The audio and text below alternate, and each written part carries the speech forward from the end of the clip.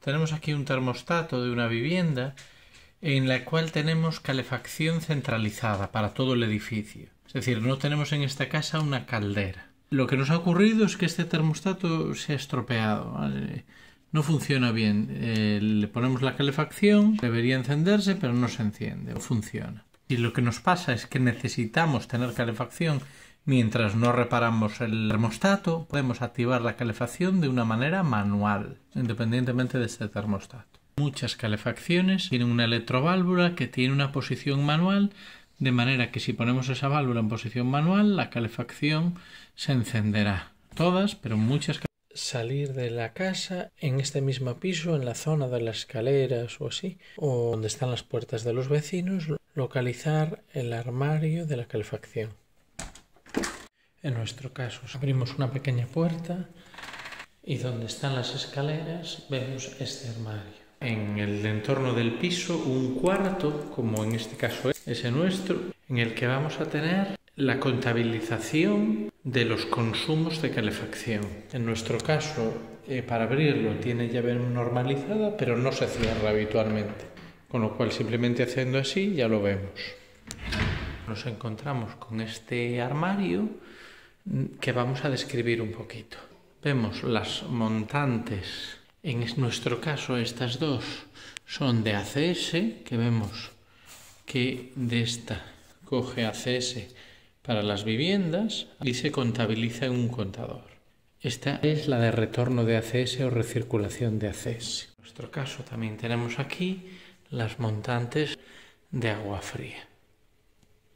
No es frecuente que el contador de de agua fría esté en cada planta. Lo normal es que esté centralizado en la planta baja. Y tenemos también las tuberías de calefacción. Otros armarios tienen separada la calefacción del agua, fría y caliente. Las tuberías de calefacción, que vemos que una es de ida o caliente y otra es de retorno fría. La calefacción es que para cada vivienda va a haber un contador de energía con sus ondas de temperatura y en el otro lado, en cada uno de los pisos, tendremos esto. Electroválvulas que dan paso de la calefacción a la vivienda y en muchos casos, como en el nuestro, tienen una posición manual que permite poner la calefacción, aunque no sea a través del termostato. Da paso de la calefacción a la vivienda. Es una válvula de dos vías, en este caso, motorizada.